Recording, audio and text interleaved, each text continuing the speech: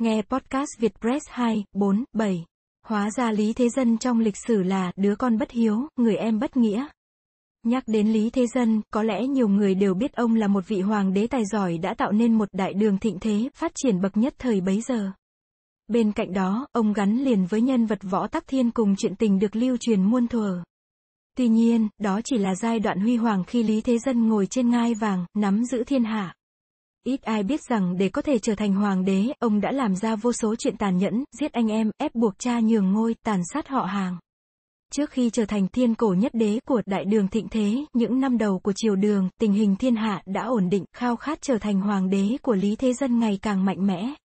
Tuy nhiên, vị trí thái tử lại thuộc về người anh trai Lý Kiến Thành, con trai trưởng của đường cao tổ Lý Uyên. Do đó, Lý Thế Dân ngày càng trở nên quyết liệt trong cuộc tranh giành ngôi vị.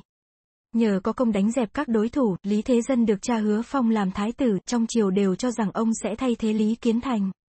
Mặc dù có tài, nhưng Lý Kiến Thành hoàn toàn bị lu mờ trước các chiến công của em trai.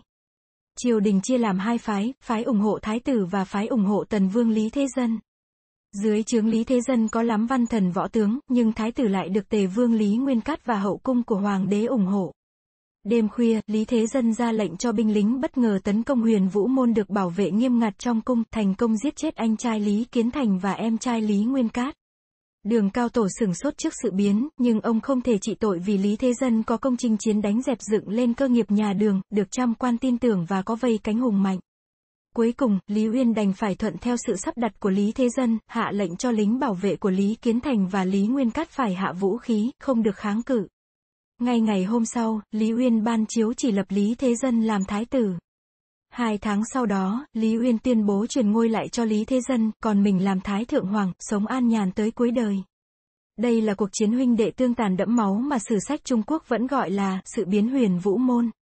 Lý Thế Dân biết rằng nếu chỉ giết chết Lý Kiến Thành và Tề Vương, người thân và bè phái của họ có thể sẽ tìm cách trả thù, vì vậy ông quyết định thực hiện các biện pháp triệt đề hơn để nhổ cỏ tận gốc. Sau, sự biến huyền vũ môn, để trừ hậu họa về sau, Lý Thế Dân lấy lý do tội làm phản của anh và em trai, giết sạch những người có liên quan. Toàn bộ gia đình Lý Kiến Thành và Lý Nguyên Cát cũng như những người dính líu đến sự việc mưu phản, đều bị Lý Thế Dân xử tội chết trong đó có 5 người con trai của Lý Kiến Thành và 5 người con trai của Lý Nguyên Cát. Tuy nhiên, sự biến huyền vũ môn, được ghi lại trong lịch sử chỉ mô tả quá trình Lý Thế Dân đánh bại anh trai mình để giành lấy ngôi vị mà không bao giờ kể chi tiết về sự việc. Theo nhiều thông tin, Lý Thế Dân, giết anh trai Lý Kiến Thành đã là một cách nói giản lược. Thật ra, Lý Kiến Thành bị chặt đầu dã man.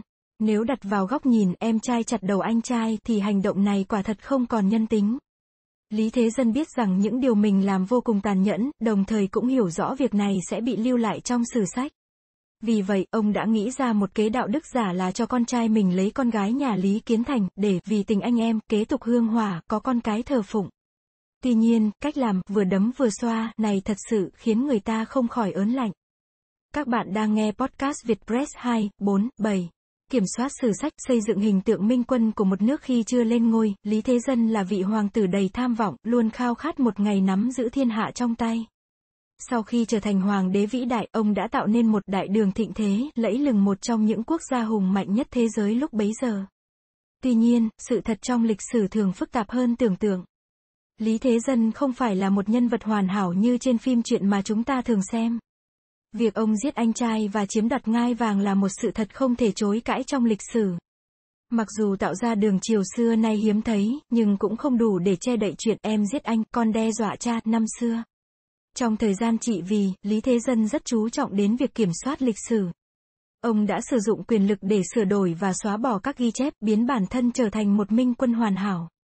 Tài năng chính trị và quân sự kiệt xuất, triều đình nhân từ và dân chúng ấm no đã được các thế hệ sau ca ngợi và giúp Lý Thế Dân trở thành một trong những thiên cổ nhất đế của Trung Quốc. Tuy nhiên, ham muốn quyền lực quá mạnh mẽ, Lý Thế Dân dần trở nên chuyên chế và độc đoán. Đồng thời, ông cũng làm sai lệch cố gắng kiểm soát và xóa bỏ lỗi lầm cùng tội ác của mình theo dòng chảy lịch sử. Mặc dù các ghi chép lịch sử không phải lúc nào cũng hoàn toàn chính xác nhưng hình ảnh và việc làm của Lý Thế Dân chắc chắn đã in sâu trong lòng hậu thế. Có quan điểm cho rằng ở thời phong kiến, anh em tương tàn lẫn nhau để lên ngôi hoàng đế là chuyện thường tình, bởi lẽ quyền lực chi phối tất cả ai có quyền hơn thì sống dễ dàng hơn. Do đó, Lý Thế Dân là thiên cổ nhất đế, hay, đứa con bất hiếu, người em bất nghĩa cũng còn tùy thuộc vào quan điểm của mỗi người.